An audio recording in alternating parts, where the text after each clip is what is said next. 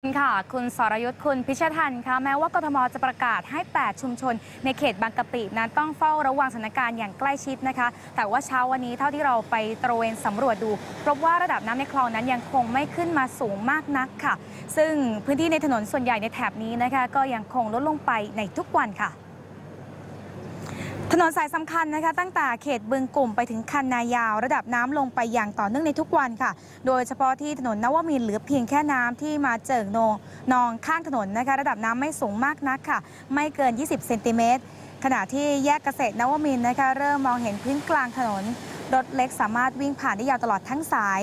ทำให้หัวน้ำที่เคยมาจ่ออยู่ที่สะพานข้ามคลองบางเตยหน้าซอยนวมิน 66 ถอยร่นลงไปเล็กน้อยนะคะ แต่ว่าจุดที่ยังคงหนักค่ะ คือที่ถนนหน้าสาฟาร์มก่อนถึงจุดตัด ระหว่างถนนนวมินเข้าสู่รามอินทรา บริเวณกม 8 นะคะ ส่วนแยกเข้าสู่ถนนคูบอนรถเล็กเริ่มที่จะวิ่งได้แล้วนะคะ ส่วนตลาดสดบริเวณแยกคูบอนนั้น ยังคงป้องกันน้ำเอาไว้ได้อยู่ค่ะ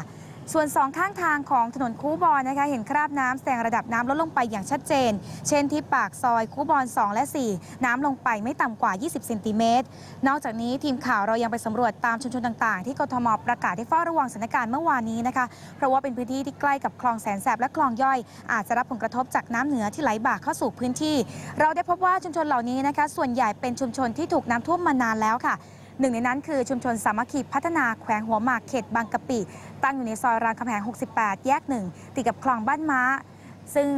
ชุมชนนี้นะคะ ชาวบ้านรายหนึ่งบอกว่าหลังจากที่มีประกาศเฝ้าระวัง ทางเขตก็นำไม้มาแจกให้กับคนในชุมชน ใช้ทำสะพานไม้เข้าออก แต่เท่าที่เราสังเกตดูเช้านี้ ก็ระดับน้ำขึ้นมาจากเมื่อวานประมาณ 5 เซนติเมตรนะคะ ขึ้นมาอย่างช้าๆ ไม่น่าวิตกเท่าไหร่นัก เพราะว่าก่อนหน้านี้ชาวบ้านทุกคนนั้น ต่างก็เตรียมพร้อมขนของขึ้นที่สูงเอาไว้อยู่แล้วค่ะ และก่อนหน้านี้เองระดับน้ำก็เริ่มลดลงมาบ้างแล้ว จึงเชื่อว่าหากระดับน้ำไม่ถึงกับทะลักเข้ามาอย่างรวดเร็วนะคะ ครอบครัวของชาวบ้าน รวมถึงทุกคนในชุมชนนั้น ก็น่าจะปรับตัวอาศัยอยู่ตามบ้านเรือนที่ถูกน้ำท่วมได้ค่ะ เช่นเดียวกับอีกจุดหนึ่งนะคะที่ถูกประกาศเช่นกันคือชุมชนลำสาลีและลำสาลีพัฒนาค่ะ ชุมชนนี้อยู่ติดกันนะคะ ชุมชนแรกอยู่ริมคลองลำสาลีโดยตรง อีกชุมชนนั้นอยู่บริเวณถนนกรุงเทพกรีฑาจุดที่เรารายงานอยู่ตอนนี้นะคะ ชาวบ้านถูกน้ำท่วมมานานหลายสัปดาห์แล้ว ซึ่งน้ำจากคลองลำสาลีบริเวณนี้เป็นมวลน้ำก้อนเดียวกับที่เคยไหลทะลักไปถึงแยกกรุงเทพกรีฑาจุดตัดกับถนนศรีนครินที่เราเคยมารายงานกันก่อนหน้านี้นะคะ แต่ว่าวันนี้เท่าที่สังเกตดูจาก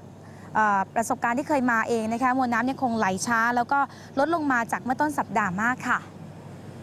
ดังนั้นนะคะเท่ากับว่าเวลานี้หากมวลน้ำก้อนเก่า ยังสามารถระบายออกไปได้ดีนะคะน้ำก้อนใหม่ที่เติมลงมาจากทางเหนือนั้น ก็น่าจะไม่รับผลกระทบมากนักค่ะ คุณสรยุทธ์คุณพิชทันคะครับขอบคุณครับคุณนิกำพรครับจะเห็น